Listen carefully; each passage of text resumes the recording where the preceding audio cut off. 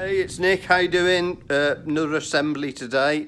Uh, we are doing a IKEA Holmsund sofa bed. So, sofa bed looks like that. As you can see, the first thing to note is that um, it can go two different ways round. Uh, the bit with the tabs sticking out is where you pull the bed out. So you need to make sure that that's going to um, uh, be coming out in the right direction for you. But it, uh, you know, you can see there on the instructions. And so you get lots of big boxes. Um, you get a box full of covers. Uh, you get the bed, and then you get the large pieces. Now they don't come like that, I've just positioned up, so all these parts are separate, all these bits come separate, this back comes separate, that's a separate unit. Also need to make sure that you get that the right way round, because that's your storage. Okay, and the first job really is to start putting your covers on, because you've got a box full of covers, and you won't get them on afterwards. So I'll get started with putting the covers on. So one of the things to note as you put these on is as you slide the cover on is inside, look, there's a strip of Velcro and on there, there's also a strip of Velcro. So you can stretch that down until, um, until it's lined up and then you can get this sagginess out and stretch them tight. You've also got Velcro down the sides as well. So pull it over tight, both sides, and then this will flatten this out okay okay so there's all the covers on um, took a bit longer than I thought I have to say I'm going to tell you that that took me an hour now it's always difficult because you haven't done something before I've never done one of these before a couple of things I would say ooh, like here putting this valance on the end of this um, I was trying to figure out what they were meaning here.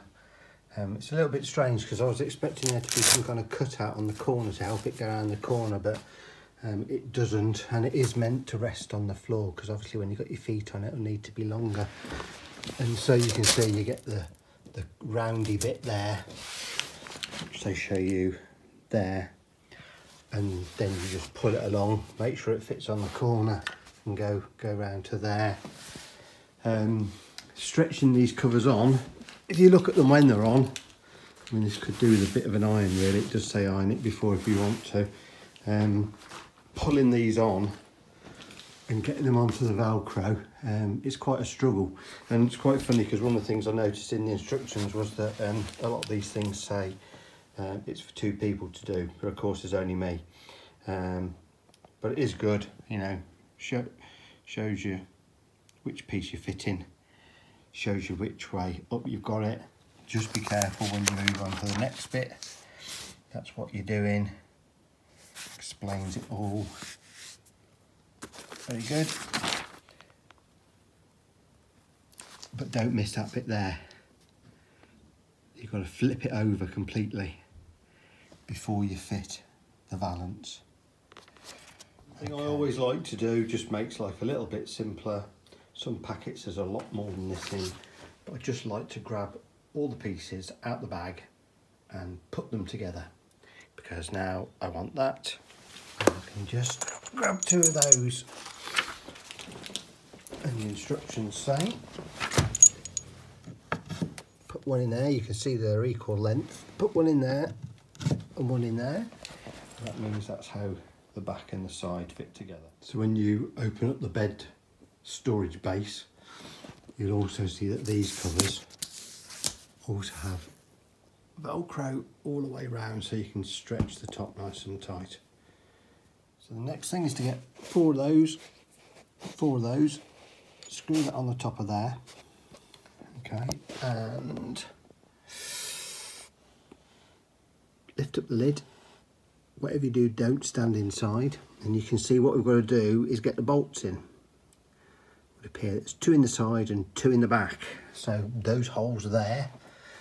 Going to line up with that hole there don't get confused with those they will be if you built the bed the other way round okay see the others up there another little tip I would just say is that when you're putting these in the side is don't put one in and tighten it up because then you've got no flexibility when you're doing the others.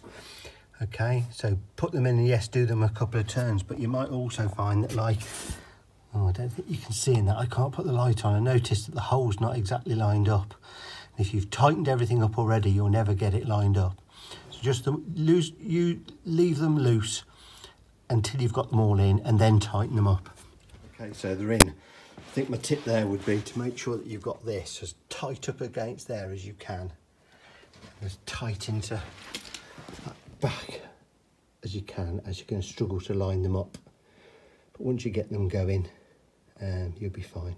The thing is to fit these brackets. The thing to notice with these is that you've got two holes and two slots and they go there and there okay and it's the holes go in and the slots that stick out and you just need two of the short thread bolts. Oh, I can see why this is a two-person job. So the next thing is to um, roll it over onto its back and you roll it over and as you can see my person is a chair.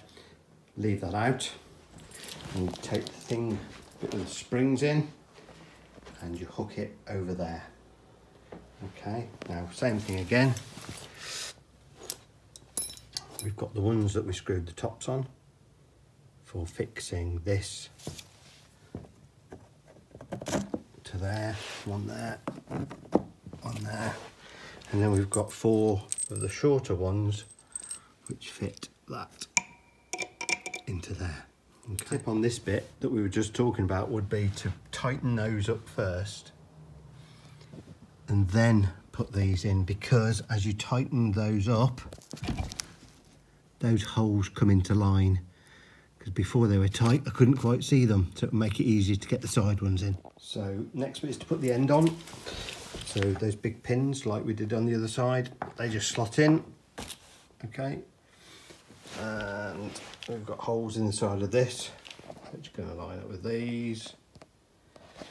Okay and we use the type that remember you had to screw the top on yourself and they'll be the ones that go sideways into it. You'd think when you look at the picture that those two big pins that you put in the side would be really easy just to slide it on. But I can tell you you probably need two people because you have to pick up the base few millimeters to get the holes to line up in that. It's quite difficult when you're on your own. Doesn't literally just slide on, okay?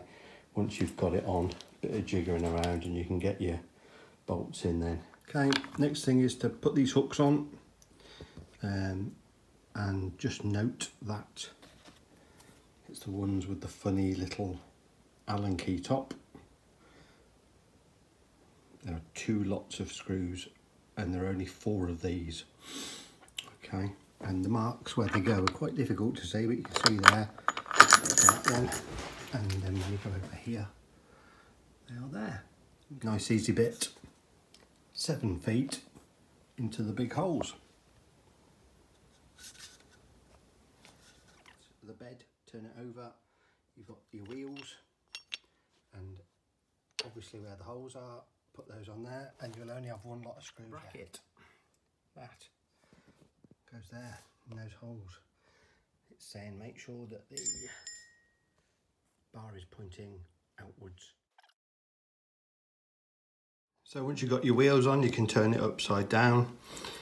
And as you see here, he's showing that you have to, as you slide it in, you tip up the front so that when you lower it and pull it back, it goes behind the hooks. And then it ends up like that. Ooh, can't fit it in the picture, it's big. Okay, you can see you leave your tabs out and that enables you to oh, pull the tabs, pull the bed up and lay it flat. Okay, hope that was helpful. Took a bit longer than I thought, but it was a two-man job. Don't forget to subscribe to the channel, guys, and I see you again soon.